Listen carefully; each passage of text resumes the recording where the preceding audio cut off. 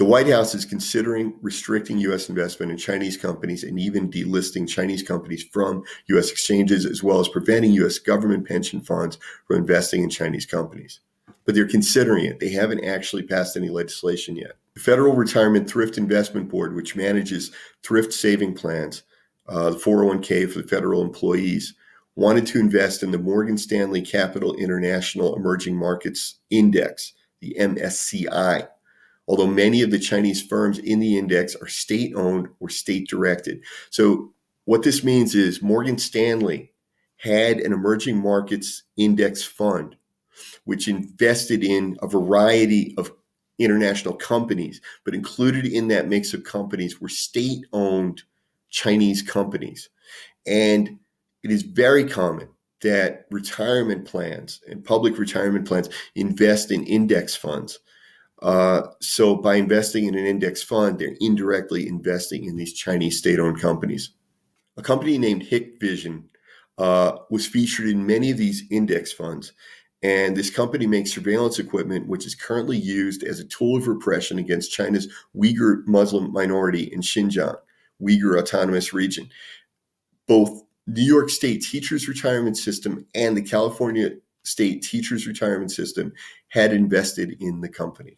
Hikvision's controlling shareholder, the China Electronic Technology Group Corporation, was added to the U.S. Commerce Department's entity list last year for acting contrary to the national security or foreign policy interests of the United States. So, this again shows how opaque the ownership of these companies is. So, we have this company called Hikvision, but now there's another company that owns controlling interest in Hikvision, and that company is China Electronics Technology Group which of course was blacklisted by the United States. A federal ban has since been instituted preventing U.S. federal contractors from doing business with this company. But that doesn't prevent American retirement funds from investing in these companies. And major U.S. investment companies like Fidelity and Goldman Sachs, they've sold off a lot of their ownership in these companies, a lot of the, the shares they were holding. But again, I, I think that these are I, I, don't want to criticize these companies without talking to them. What I have to believe happens is when something like this comes in the news and it becomes hot topic for a week, the investors call up and complain. Different groups, activists, and whatever call and complain. So they sell off uh, their ownership in these companies as a show. But I, but I would imagine that there are they own an equal number of these blacklisted companies, or that they will later buy additional shares of blacklisted companies. Or if, if, we did an audit right now, we would find shares of other companies that are either state owned or, as I said, that have been blacklisted or banned. Another uh, company that they owned shares of was called Dahua, and it was a subsidiary owned by China Investment Company.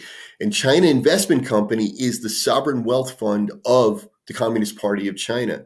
The Communist Party of China, the government of China, they have a sovereign wealth fund that invests their cash reserves. The company is called Chinese Investment Company. And that company then is the majority shareholder or is a shareholder in many of these companies. So other Chinese companies which manufacture Chinese weapons are still open to U.S. investment. One such company is Aviation Industry Corporation of China, AVIC, which U.S. Trade Representative Robert Lighthizer has described as the sole domestic supplier of bombers, fighter jets, and other aircraft to the People's Liberation Army. And yet, American companies and American funds are investing in this company. So then we ask who should be policing the investments? Who should be checking to approve the investments and who should be who should have the authority to block them? Now we have this CFIUS, this Committee on Foreign Investment in the U.S. Okay, this is an umbrella agency composed of 32 different federal agencies which review foreign investment, which could threaten national security. And they are, um, they do have the authority to block these investments or at least to make strong recommendations to the government to block these investments. However, CFIUS usually investigates investments in technology or military contracts military installations, or other sensitive information, but has no responsibility for food or drugs or USDA or US uh, FDA investments. In the previous administration, President Obama, acting on national security concerns, blocked a Chinese takeover of a semiconductor manufacturer. In September 2017, President Trump also halted the Chinese acquisition of Lattice, an American semiconductor manufacturer. Uh, prevented Chinese from purchasing the money transfer company MoneyGram on concerns that data on millions of Americans could be compromised.